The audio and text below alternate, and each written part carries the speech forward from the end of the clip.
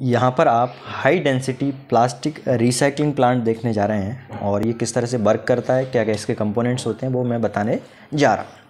इसमें इस मशीन को हम सिंपली आरपी प्लांट भी बोलते हैं रिसाइकलिंग प्लांट और यहाँ पे जो हीट जनरेट की जा रही है, वो लकड़ी को जला के जनरेट की जा रही है।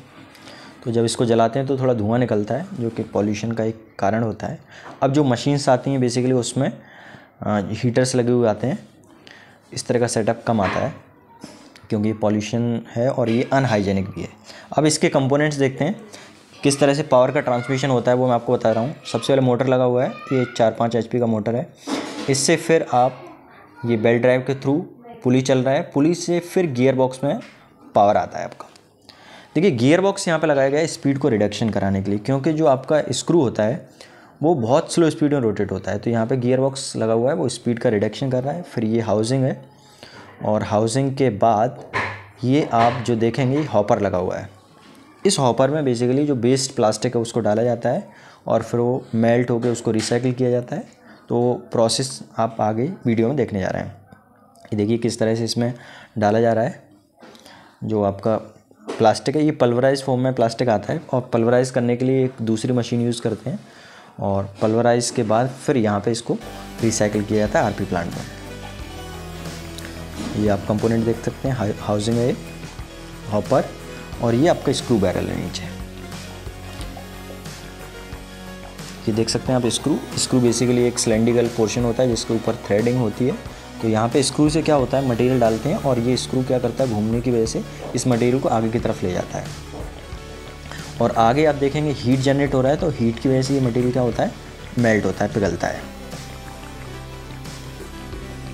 ये जनरली हीट जनरेट करने के लिए आप हीटर्स वगैरह इसके ऊपर लगा देते हैं लेकिन अभी आ, कुछ जगह ये भी इस तरह का भी यूज़ करते हैं अभी। ये आप देख सकते हैं ये फर्नेस है एक तरह से जहाँ पे हीट जनरेट की जा रही है और इसी के बीच में आपका जो स्क्रू बैरल है वो पास हो रहा है।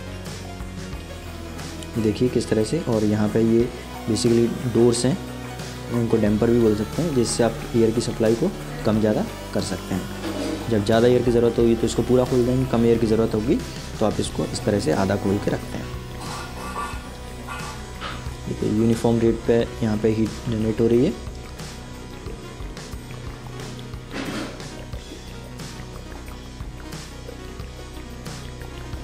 और इसके बाद जो प्लास्टिक रिसाइकल होके आता है, ये बेसिकली चंक के फॉर्म में निकलता है, उसको कट करके छोटे छोटे पीस में छोटे छोटे चंक्स बनाए जाते हैं। और उसके बाद जो मोल्डिंग होती है, वहाँ पे यूज़ होता है। ये एच है तो इसके कैंस वगैरह जो बनते हैं, जो पानी वाले कैंस आते हैं ब्लैक कलर के, वो वो सारी चीज़ें बनती हैं मोल्डिंग मशीन में डाल के।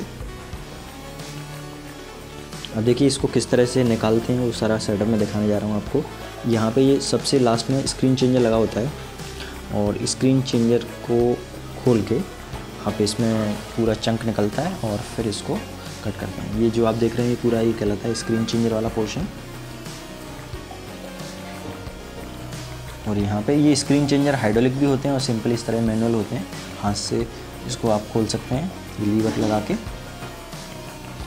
और इसमें जो फ़िल्टर होता है, जो आपकी छलनी टाइप की होती है, इसको बार बार क्लीनिंग करना पड़ता है।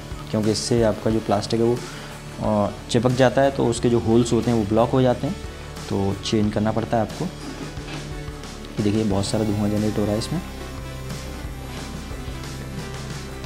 आप देख सकते हैं, ये ब्लैक कलर का जो मटेरियल है, यही आपका रिसाइकिल प्लास्टिक है। ये जब ठंडा होगा तो एक चंक बन जाएगा, फिर इसको छोटी छोटी पीस में काट के और जो कट्टे होते हैं, बोरे होते हैं, उसमें भर के जिस भी पार्टी का मटेरियल होता है, उसको भेज दिया जाता है।